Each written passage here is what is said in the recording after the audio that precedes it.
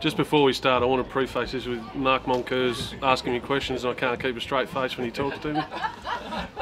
So off you go. All right. Obviously, today's been a bit of a tough day at the office there for you guys. Um, are there any sort of positives that you guys are able to take out of today for you? No, I don't think so. We we pretty much gave it up there in probably the second part of the second half, um, which is really disappointing. I mean, you can't take anything out of that. Um, it's a it's just a capitulation, and our boys have got to got to live with that. Need a need a few more leaders on the park. And um, I suppose looking forward to the last couple of games of the season, what are you, what are you guys trying to take out of that, and also the, the final series? Uh, last two games of the season's uh, pretty important. We need to need to win and try to get try to get second. Um, the final series is, you know, it's not high on our list of importance, so we'll go in it. It might be a good chance to um, see what we've got, see who's willing to put in for next year, or who we have to recruit for next year.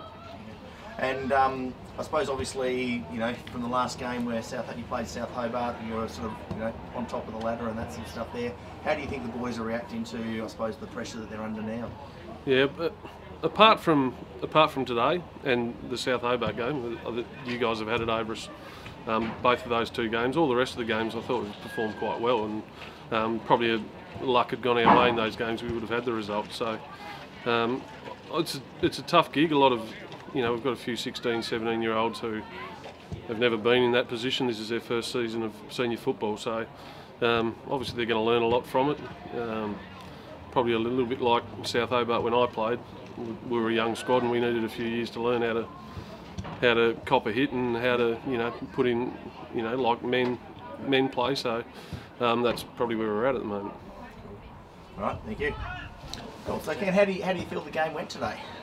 Well, I think it's what we expected. It was going to be a hard slog. The, the ground was heavy, um, but I thought we played the ground well today. We we didn't overplay it through midfield. We got in behind them, and we took our chances well. Yeah.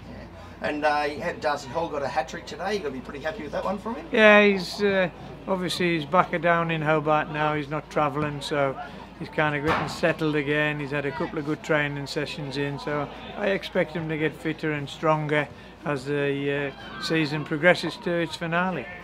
And obviously today's result's a big turnaround from round one. What do you what do you see the key things that have changed since uh, round one of the side? Well, pr probably from our point of view, the depth we've got in the squad now, and from Devonport's point of view, maybe the uh, um, you know, I've lost two or three players and experienced players, which makes it a little bit more difficult.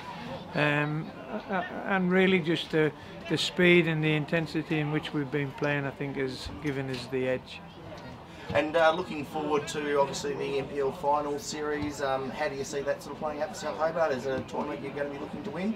I think so. I think without a doubt. You know, it's the the NPL playoffs are important for us, and we'll we'll try and make it a double, the league and the the playoffs.